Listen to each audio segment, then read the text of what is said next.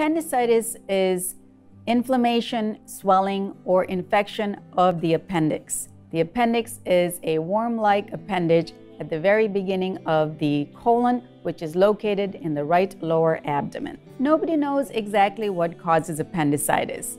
However, the opening of the appendix is usually blocked with some solid stool when somebody has appendicitis. Patients with appendicitis will usually have some vague, nonspecific abdominal pain. There may be some associated nausea or vomiting, fever, or chills. The pain will usually radiate to the right lower abdomen. The operation for appendicitis is called appendectomy.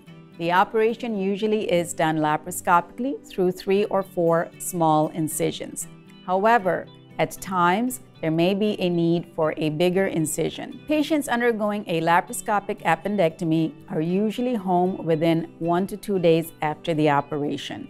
Recovery usually takes about one to two weeks when patients are back to their usual activities. The surgeons at Centegra are well trained and offer a wide range of options for uh, diseases that require an operation, including uh, open operations, laparoscopic or robotic operations for complex disease processes.